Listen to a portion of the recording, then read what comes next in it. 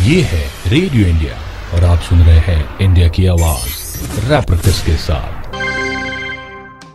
नमस्कार, आदाब एंड सत श्रीकाल। मैं हूँ रैपर क्रिस और शो चल रहा है इंडिया की आवाज़। और आपको तो पता ही है दिस इज़ रेडियो इंडिया हर रोज की तरह आज भी मैं कोई एक शख्स को लेकर आऊँ जिसके साथ मैं इंटरव्यू करने वाला है। उनसे बात करने से पहले मैं आपको बता दूँ कि उनका नाम है mister Mrityunjoy Chatterjee. He from Kolkata और ये अमेठी यूनिवर्सिटी कोलकाता के डायरेक्टर रह चुके हैं। हालाँकि इन्होंने 24 साल अपना कीमती वक्त निकाला मीडिया इंडस्ट्रीज़ में। तो इनसे बातों का सिलसिला बस शुरू करते हैं।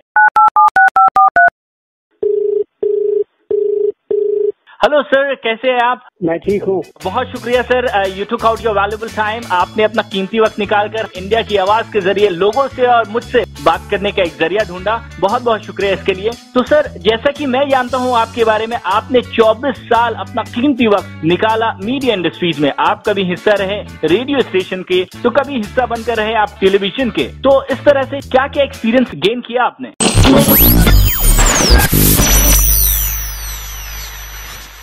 1984 में मैं एक मैगजीन पीरियडिकल जो न्यूज़ वीकली था उस पर काम शुरू किया एज ए ट्रेनिंग और छह महीने में मुझे एक चांस मिला उस समय सबसे बड़ा जो न्यूज़ एजेंसी हुआ करता है संवाद संस्था जिसको कहते हैं United News of India UNI वहाँ से एक परीक्षा हो रहा था। तो मैं कैजुअली एक शाम को मैं जाके वहाँ परीक्षा दिया और ऑल इंडिया सिलेक्ट हो गया और अ, मेरी जो न्यूज़ मैगजीन की जो सिलसिला थी वो छह महीने में खत्म हो गया और मैं न्यूज़ एजेंसी में काम करने लगा। वहाँ पर मैं ट्रेनिंग से शुरू किया। वहाँ से दस साल मैं न्यूज़ एजेंसी में रहा तो उसी वक्त मैंने ज़िंदगी की बहुत सारे जो अहमियत है जो न्यूज़ के बारे में जो सीखने की चीज़ें हैं। मैंने वहाँ सीखी। और एक जूनियर रिपोर्टर से जब मैं वाइड आउट आइड देखता था कि कैसे लोग जाते हैं विदेशों में जाते हैं प्राइम मिनिस्टर प्रेसिडेंट के साथ जाते हैं और वर्ल्ड कप विम्बलडन कवर करते हैं। तो वहाँ से जो जूनियर रिपोर्टर था तो मुझे भी थोड़ा थोड़ा चांस मिलने लगा मैं भी कवर करने लगा। ये दस साल में मैंने दो वर्ल्ड कप कवर किया है। तीन बार मैंने विम्बलडन कवर किया है। टेनिस की। एक ओलंपिक गया। प्राइम मिनिस्टर प्रेसिडेंट के साथ मुलाकात की उनकी फॉरेन ट्रिप में उनके साथ गया। एक कंप्लीटनेस था क्योंकि एजेंसी में काम करना एक बहुत एक्सपीरियंस की बात होता है। क्योंकि वहाँ पर आप कोई भी साइड लेके बात नहीं कर सकते हो। आपको एकदम down the middle part part आपको न्यूज़ लिखना पड़ता है क्योंकि आपका जो सब्सक्राइबर्स है जो लोग आपसे न्यूज़ खरीदते हैं वो वो लोग हर एक किस्म के होते हैं। जैसे कि बहुत बड़े नाम के न्यूज़ पेपर भी उनके हैं सब्सक्राइबर्स वैसे छोटे न्यूज़ पेपर भी उनके सब्सक्राइबर्स रेडियो आपने- स्टेशन है टेलीविज़न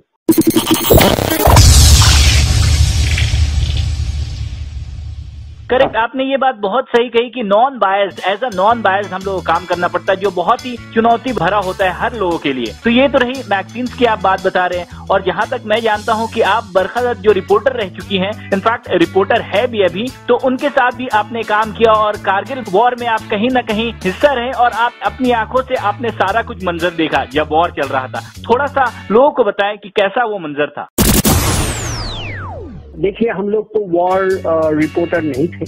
मगर मेरी जितनी एक्सपीरियंस का एक बहुत बड़ा परीक्षा था, वहाँ जाके कवर करना, क्योंकि वहाँ तो कोई जैसे कि हम फ़िल्मों में देखते हैं रिपोर्टर फ्रंट लाइन चला जाता है, वहाँ से कवर करता है, वैसा होता नहीं है। जहाँ आर्मी फाइट करता है, उनसे बहुत दूर रिपोर्टर्स रहते हैं, और उनको ब्रीफिंग दिया जाता है आर्मी की तौर से। वो ब्रीफिंग से हम रिपोर्ट करते हैं। और ये बहुत जैसे कि लोग समझते बहुत जोखिम भरा जोखिम भरा तो होता है मगर ऐसा नहीं कि फ्रंट में जाके हम लोग रिपोर्ट करते तो it was very kind of tedious commitment although things were tested specially जो टेक्नोलॉजी था जिससे हम लोग वाकिफ नहीं थे। सबसे बड़ी बात थी मैं हम लोग घर में फ़ोन नहीं कर सकते थे। कहाँ से रिपोर्ट कर रहे हैं इसके बारे में बोल नहीं सकते थे। बहुत सारे आर्मी रेगुलेशंस भी था जो हमने सीखा। वहाँ पर हमने सीखा है कि कैसे आर्मी का क्योंकि हम लोग आर्मी के साथ ही से बैठते थे वो उस दिन। वो वैली में जो होटल में हम लोग रहा करते थे वहाँ से जो आर्मी ट्रक से हम हम लोग को लिया जाता था। So we learn so much I mean though we were not very qualified war reporter war correspondent but हमने बहुत कुछ सीखा बहुत कुछ देखा। मतलब आपकी तो, बातों अ, से ये लगता है कि आपने चुनौती को एकदम खूब ही निभाया है और खूब ही गले लगाकर उस चुनौती को सामना किया है और जितना भी हो सका आपने अच्छी तरीके से पूरे दिल के साथ आपने उस काम को बखूबी निभाया है। ये तो रही मैगजीन और टेलीविज़न की बात। सर, रेडियो के बारे में भी कुछ बताएँ और न्यूज़पेपर के बारे में भी आपका सफ़र कैसा रहा? I'm very uh, lucky that I got a chance to know about 360 degree media. Started with the News Weekly. From there, I uh, went to News Agency, which was something that I really grained myself in uh, elements of journalism. I stayed there for 10 years and then I was a regular scribe of All, All India Radio at that time. I used to read news for All India Radio and then I was also a news reader for Doordarshan for some time. Basically, these all things ingrained me into the kind of a rounded journey uh, you become. And for a brief period, I was also associated with BBC World Radio. Uh, from there, I came into uh, television. At one time, I was the input editor of the entire group of TV channels. तो अगर Till, आप uh, बुरा ना माने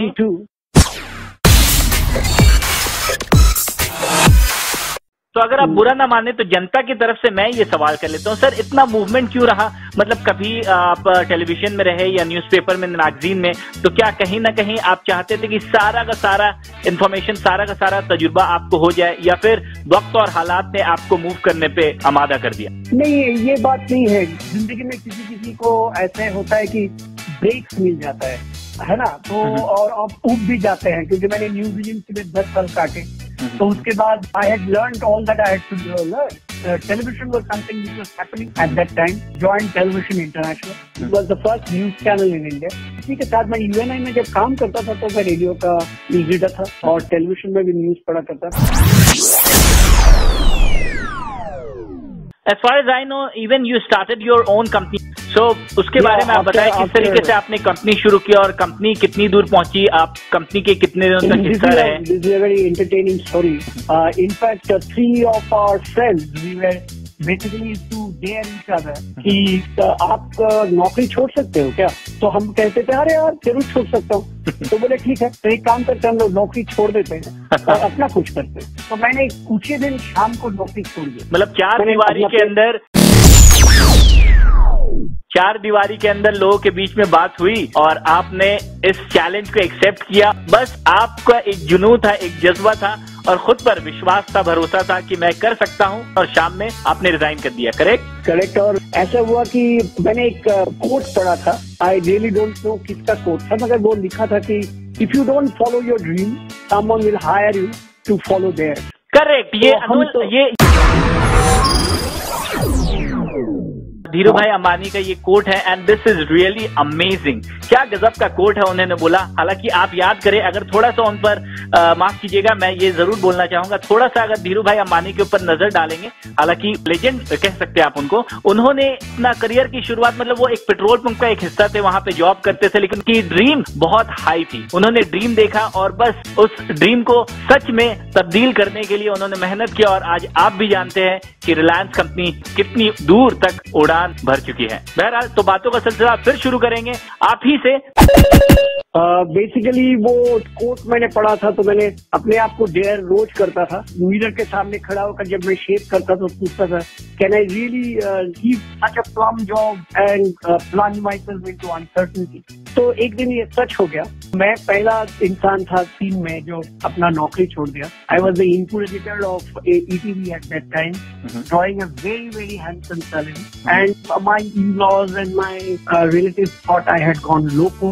पागल हो गया ये बंदा ऐसा कोई कर सकता है क्या? We started a PR company public relation company तो जो हम अर्न करेंगे वो हम पैसा घर में लाएँगे ले जाएँगे। मगर अपना पॉकेट से कुछ नहीं खर्चा करना है।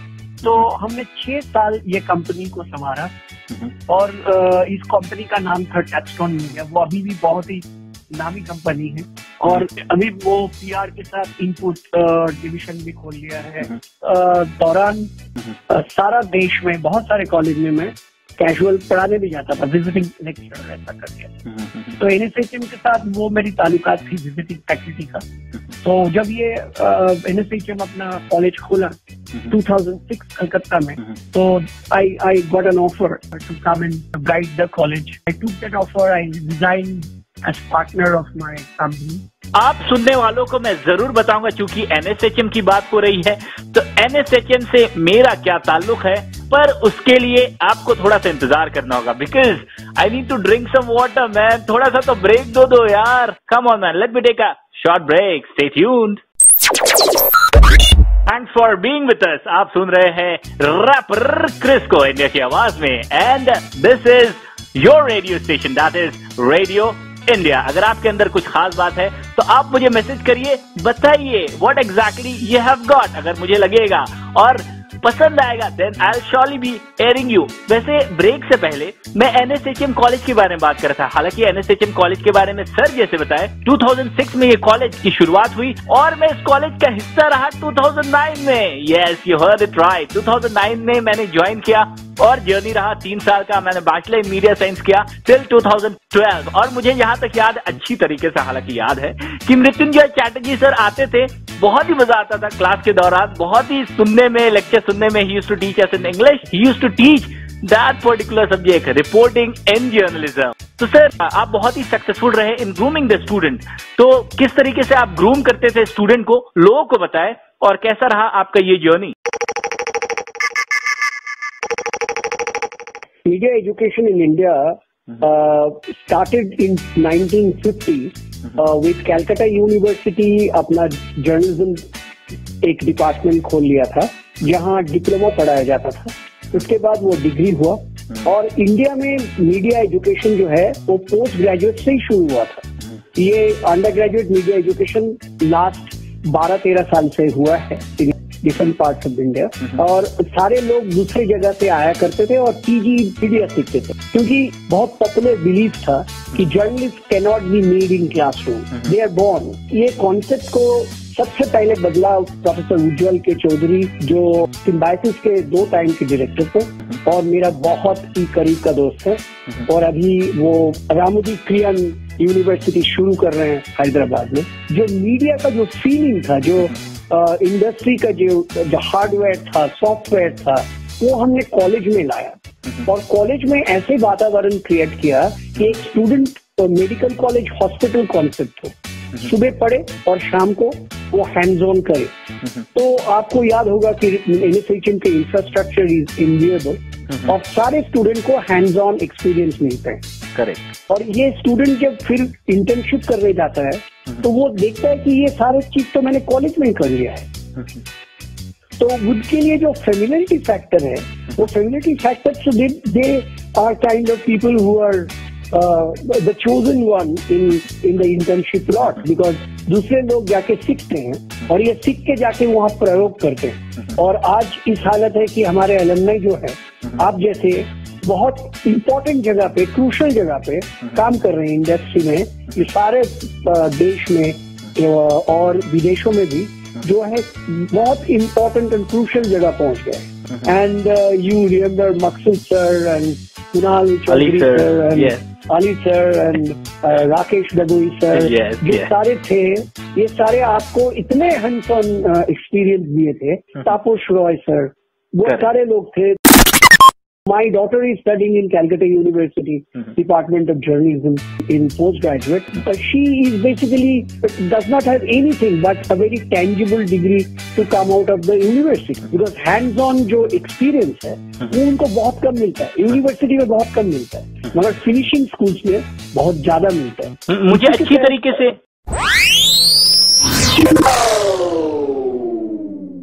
मुझे अच्छी तरीके से ये याद है। मैं जब कॉलेज में पढ़ाई कर रहा था तो आप प्रिंसिपल थे। इस तरह एक राज्य को, एक देश को चलाने के लिए एक लीडर की ज़रूरत पड़ती है। उसी तरह एक कॉलेज को, एक स्कूल को चलाने के लिए एक प्रिंसिपल की ज़रूरत पड़ती है।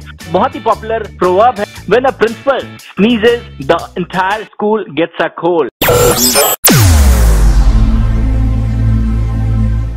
Radio की जब बात होती है तो रेडियो में इंटरटेनमेंट का कहीं ना कहीं से रुझाव रहा है। तो एंटरटेनमेंट की अगर मैं बात करूँ तो बॉलीवुड को नजरअंदाज करना बिल्कुल ही नामुमकिन है। तो बॉलीवुड में कौन कौन से ऐसे कलाकार हैं कौन कौन से ऐसे फनकार हैं, जो आपके फेवरेट हैं और जिनसे आप बहुत कुछ सीखते हैं? देखिए, मैं सारे लोगों का सभी से कुछ ना कुछ मैं सीखता हूँ। मैंने एक चीज़ सुनील गवास्कर से सीखी।